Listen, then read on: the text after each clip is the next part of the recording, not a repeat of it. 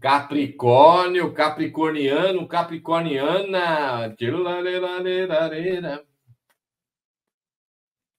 Ah, se o mundo inteiro me pudesse ouvir, tenho muito para contar, dizer que aprendi.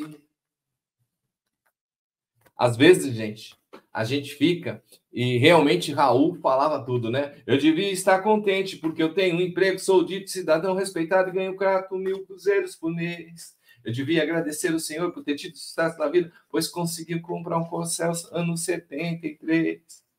Vamos lá, gente. Signo de Capricórnio. As coisas são cortadas da sua vida para surgir coisas melhores. Veja bem, o corte mostra que você também precisa separar o que é o joio e o trigo, precisa alinhar sua vida, precisa colocar o que é certo no certo. Comece uma coisa e termine.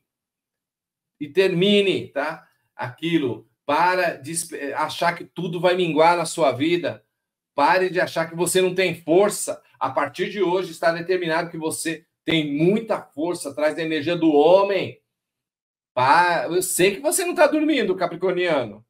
Eu sei que você está preocupado com as alianças, com, a, com o casamento, está preocupado com a família, está preocupado com o seu trabalho, está preocupado com a sociedade, mas você tem a chave para mudar tudo isso. Mas vai devagar, porque essa chave ela vai trazer a energia daquela justiça. Você se sente injustiçado, injustiçada, chega de injustiça. Esse mês de novembro vai cair muitas máscaras para você do signo de Capricórnio. Vai te abrir muitas portas, mas às vezes você vai se decepcionar com algumas pessoas.